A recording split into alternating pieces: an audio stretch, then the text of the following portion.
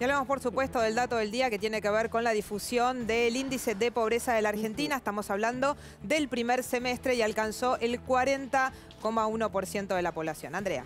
Mariana, vos un poco recién lo anticipabas en los títulos. Es un dato que duele, pero además es un dato que queda un poco viejo porque no refleja lo que ocurrió después de la última devaluación del mes de agosto, post, post paso.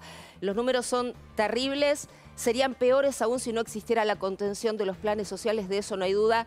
También no hay duda de que no alcanza. Vamos a empezar a compartir con ustedes entonces estos números que anticipaba Mariana y que tiene que ver con la pobreza en la Argentina. 40,1 es lo que mide el INDEC para el primer semestre del año. Esto indica que hay 18.400.000 personas, casi 18 millones y medio de argentinos que son pobres, acá incluyendo también los números de la indigencia cuyo porcentaje también creció y es el próximo dato que tenemos allí en placas. Mariana, 9,3% son, como decíamos, 4.200.000 personas. Y si no lo queremos entender así, por ahí acá queda más claro. Uno de cada diez argentinos directamente no cubre la canasta básica. Esto es lo más doloroso, sin duda, ¿no?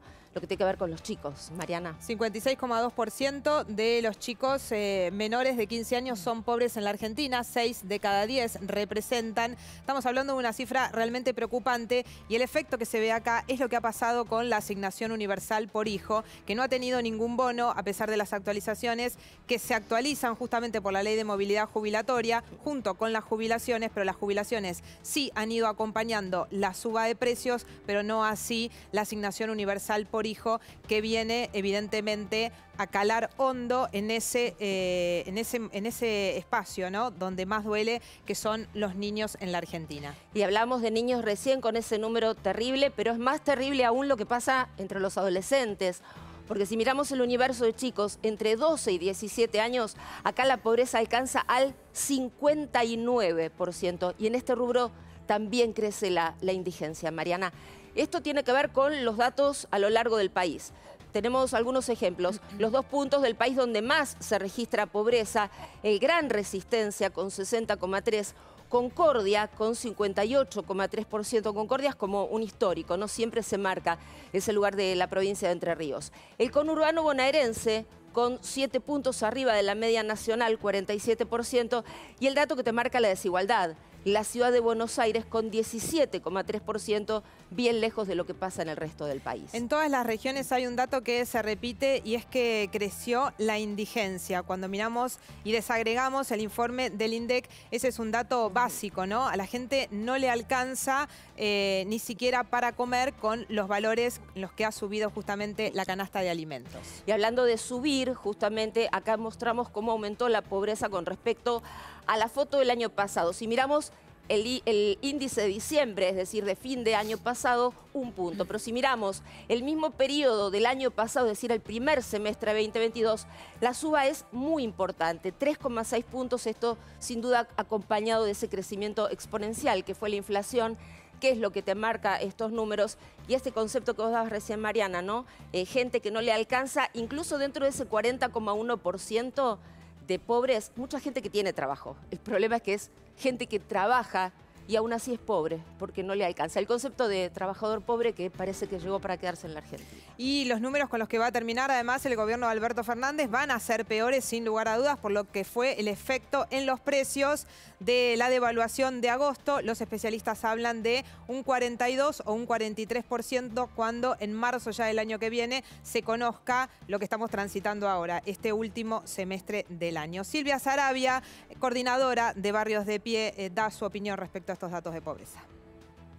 Los datos que se están dando hoy, que como vos bien decís son datos muy dolorosos, eh, en realidad son datos viejos porque son datos previos a la última devaluación y a los incrementos de precios, fundamentalmente de alimentos, que hubo en junio, julio, agosto, septiembre, está viendo. Entonces, la situación es aún peor que esos datos, ¿no? No es que estamos en una curva ascendente de que estamos mejorando, en franca mejoría, sino que las últimas decisiones del gobierno hacen de que esos datos vayan empeorando. Seguramente habrá que ver el impacto de los bonos, eh, que por supuesto son bonos eh, puntuales, ¿no? Entonces, eh, por eso en ese sentido también nuestra preocupación y nuestra pelea por la discusión del salario mínimo vital y móvil. Uno de los planteos que, tenemos es que efectivamente estos bonos generan mucha incertidumbre. Ahora se anunció un bono para los que no tienen absolutamente ninguna asistencia por parte del Estado. Pero es un bono de dos meses. ¿Después qué? Si no se frena la inflación, todo lo que se esté eh, planteando como medida eh, son medidas que, que se esfuman. Los números de pobreza son un índice, un número, y se miden cada seis meses. Creció solo un 1% en relación a los últimos seis meses, pero ¿qué pasará con este semestre? ¿Y cómo debemos leer esos números detrás de los cuales hay gente? Con Ismael Bermúdez está trabajando en este momento Cristian García. Cristian, buenas tardes. ¿Qué tal, Claudio? Buenas tardes. Así es, para hacer un análisis justamente de estos números que preocupan y consultarle si estos números los esperaba Ismael, eh, si fue más de, lo que se estaba pensando y también esos datos que siempre marcás vos que sorprenden, más allá de lo que recién mencionábamos de la pobreza infantil. Bueno, sí, efectivamente, ya con los datos de distribución del ingreso que dio a conocer la semana anterior el INDEC, daba justamente un 40,1% y así lo habíamos anticipado. Acá lo que hay que explicar es lo siguiente, este es un dato semestral si uno desagrega este 40,1 en qué pasó en el primer trimestre y qué pasó en el segundo trimestre, estamos viendo que en el primer trimestre era 38,7% y ya en el segundo trimestre saltó al 41,5%. O sea, estamos con una tendencia creciente, ascendente en la medición de pobreza. Segundo tema que es muy pero muy importante. La medición del INDEC toma en cuenta lo que se llaman los centros urbanos, no toma los centros, digamos, la población rural. Ahora, la población rural por la sequía fue muy castigada. Quiere decir que si uno incorporara la población rural a la medición tanto de indigencia y de pobreza, estaríamos con un porcentaje muy superior porque sabemos que en las zonas rurales ha habido muchas suspensiones y hasta despido de trabajadores porque se paralizó en gran parte la actividad eh, en agricultura y en parte también en ganadería. Otro elemento importante a destacar, estos son datos del primer semestre, por lo tanto, al no tomar en cuenta lo que pasó fundamentalmente en agosto con la devaluación del peso, y con la disparada inflacionaria, que además, disparada inflacionaria que pegó mucho más fuerte en lo que es la canasta alimentaria y la canasta de pobreza, que recordemos, solamente la canasta de indigencia aumentó 17% en agosto frente a un 12,4% de inflación promedio. Y la indigencia y la pobreza no se miden en relación a los índices de inflación, sino que se miden en relación a, los, a lo que tiene que ver con el aumento de la línea de indigencia y de pobreza.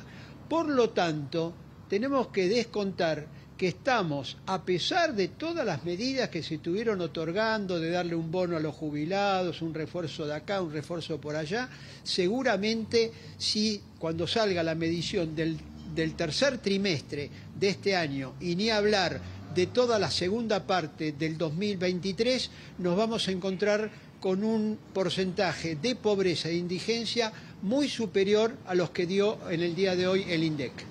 Los escucha Imael Bermúdez, compañeros.